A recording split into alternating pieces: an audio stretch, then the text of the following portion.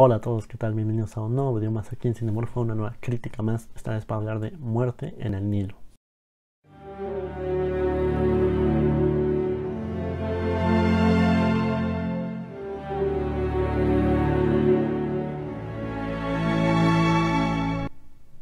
La sinopsis dice, adaptación de Muerte en el Nilo de Agatha Christie, durante unas vacaciones en el Nilo, Hercule Poirot tiene que investigar el asesinato de una joven heredera.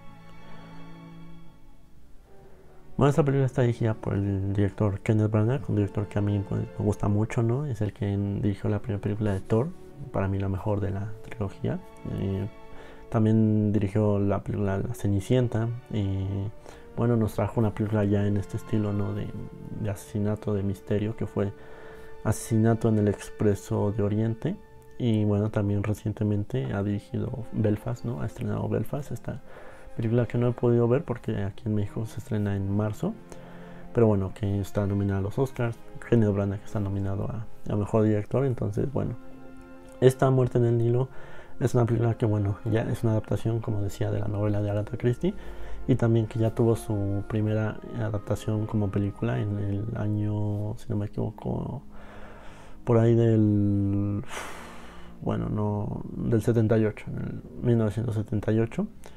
Y bueno, en esta película Kenneth Branagh también está como, como actor, ¿no? En el reparto tenemos a Kenneth Branagh como actor, como este famoso, eh, este famoso detective, ¿no? Y Hercule Poirot.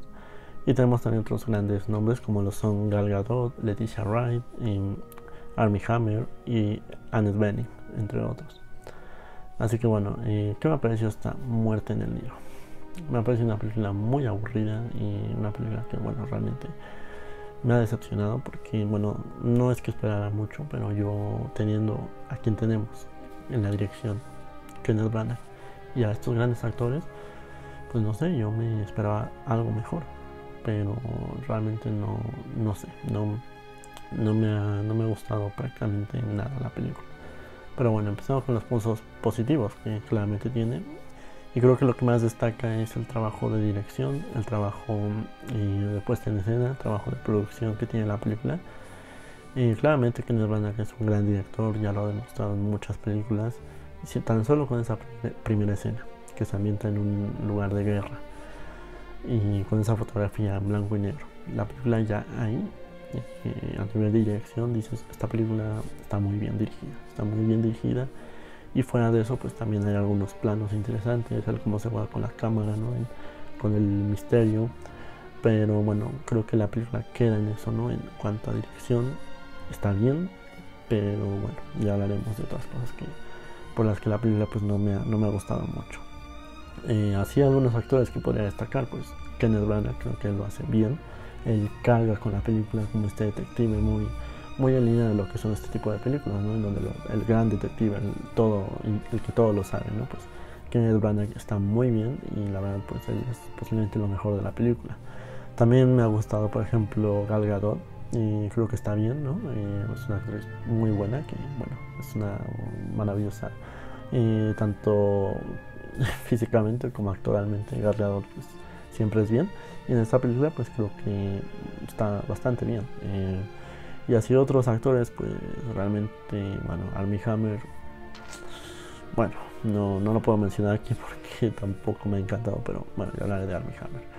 Y así otras cosas que me hayan gustado, bueno, y creo que la parte final del tercer acto más o menos repunta un poco cuando ya empieza en juego todo el tema de la acción, ¿no? De, de buscar al asesino, de el misterio, ¿no? Cómo se juega con esto, pues ahí más o menos la película repunta un poco, pero bueno, más allá de eso, ya metiéndonos en cosas negativas.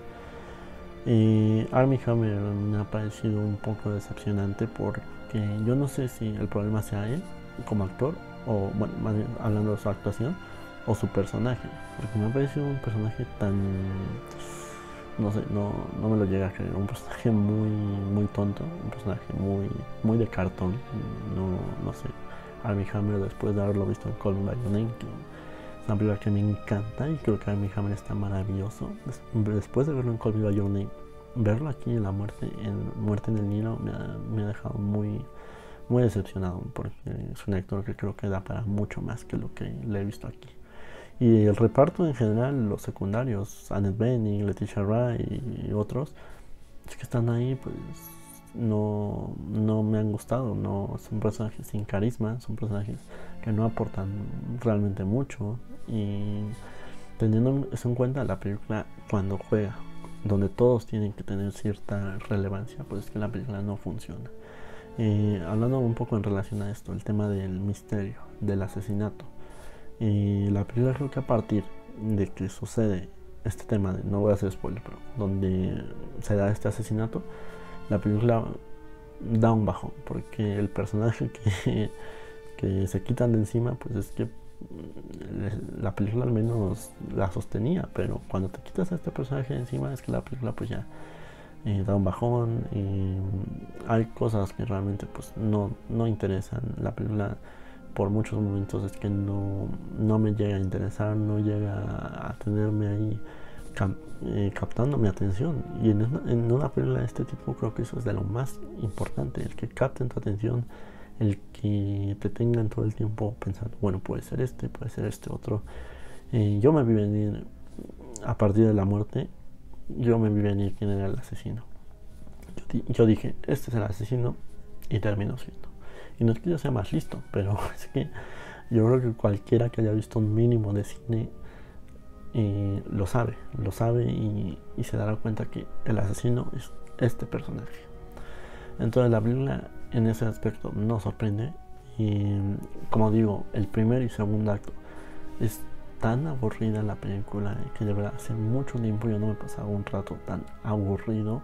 Porque yo eh, en películas malas, películas mediocres, y si logran entretenerme, bueno, tienen un punto. Yo creo que lo mínimo que una película puede hacer es entretenerte. Pero esta película es que no entretiene, al menos a mí no me llegó a entretener y por mucho, mucha parte de la película. Y eso es algo muy grave para una, una producción de ese tipo.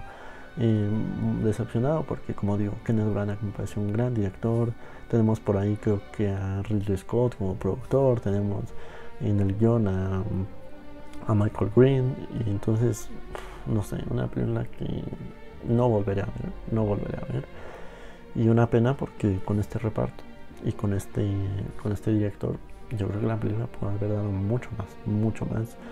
Y, se queda en eso. Entonces, ya en, unos, en unas semanas que veré Belfast, espero quitarme el mal sabor de boca con, este, con esta película que me ha dejado el, el bueno de Kenneth Branagh.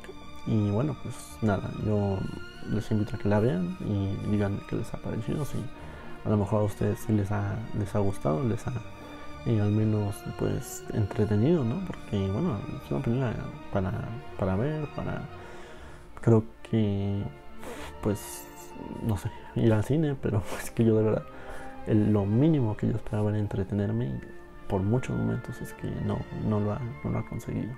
Ya cuando se descubre el asesino y todo esto, pues bueno, más o menos, pues la película tiene su punto, pero es que aún así la película creo que no, no logra no le logra dar un buen cierre y, no, creo que la película funcione. Pero bueno, mi nota para La muerte en el Nilo lo había pensado porque difícilmente yo podía aprobar esta película. A lo mejor por la dirección, por el trabajo visual, por el trabajo de producción, podría darles aprobado, pero no, es que es una película que no me ha costado verla, me ha aburrido y, no no puedo aprobarla. Así que bueno, mi nota para la muerte del Nilo es de un 5. Y bueno, pues nada, si les ha gustado el video pueden regalarme un like. Esto me ayudaría mucho si están suscritos. Suscríbanse para seguir apoyando el canal. Y bueno, un abrazo y nos vemos. Adiós.